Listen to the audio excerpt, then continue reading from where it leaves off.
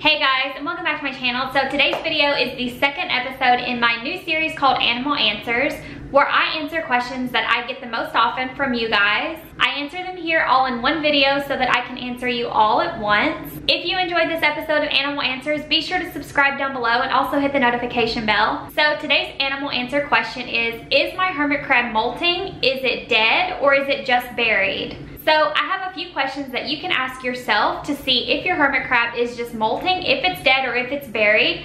This is pertaining to people whose hermit crabs have gone under and they haven't seen them for any period of time, whether it be a few days, a few weeks, or a few months. So the first question to ask yourself to figuring out what your hermit crab is doing is how long have you had it? Did you just recently get the hermit crab and immediately it went and buried and you haven't seen it in a few days or a week?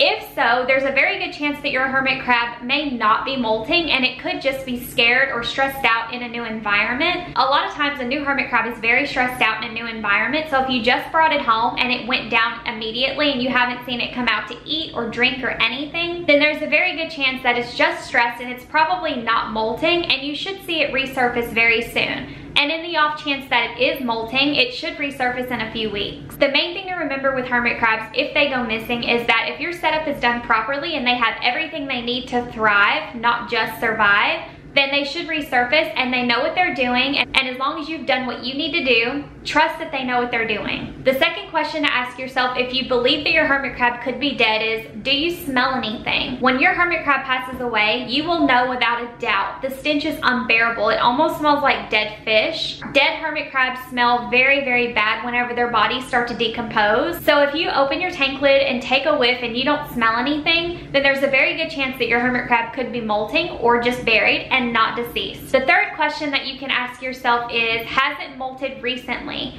If you're familiar with your hermit crab and you've had it a while, but it's been down for a couple weeks and you're not sure where it went, yourself, has it molted recently? There are several really good indicators to know if your hermit crab has molted recently or if it's about to molt. You may see them hanging around the saltwater dish a lot more as they're getting ready to shed their exoskeleton, or you may have seen them resurface after being buried for a few weeks and they came up a much lighter color that's a very sure indicator that they possibly molted. Usually their exoskeleton and their claws and their legs are a much lighter color once they've resurfaced after a molt. And of course, the most obvious way to know if they recently molted is if you see them out climbing around and while you're spot cleaning, you may happen to find a piece of their exoskeleton from their most recent shed. So if you've looked out for all of those indicators and you did have any of those happen, then there's a very likely chance that if your hermit crab recently molted, it's probably not molting again. They could just be buried because of stress. They could be buried because it's daylight outside and they do prefer to come out at nighttime, or they could just be hiding. But again, as long as you don't smell anything, they're probably not dead.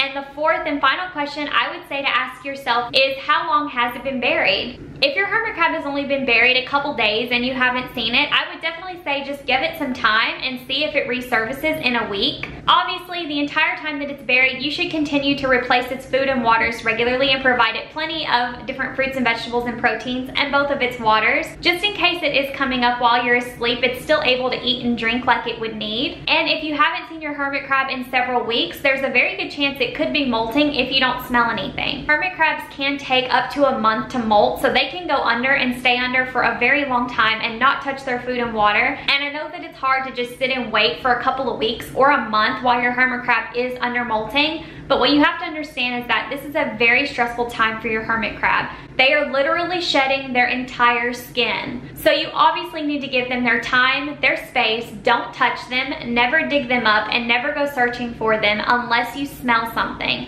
Obviously, if there is a very strong odor in the room that your tank is in or in the tank itself, it may be a good idea to just gently search around with your finger and make sure that your hermit crab hasn't passed away. But if you don't smell anything, I would seriously just relax take some time, wait another week or even two, and see if your hermit crab has in fact molted and wait for it to resurface. I really hope that this video was helpful to you. If you guys enjoyed this video, feel free to subscribe down below and also hit the notification bell. The main to remember with hermit crabs is just to be patient. They are pretty much nocturnal, so you're not gonna see them out a lot during the day. I know that I get tons of comments from people who are concerned about their crabs not coming out during the day, but the main thing to remember is that they know what they're doing. As long as you've provided them with everything they need and their setup is completely adequate, with the proper substrates, both freshwater and saltwater, dechlorinated of course, the proper fruits, vegetables, proteins, and foods and things that they need, as well as the proper substrate, humidity, and plenty of shells,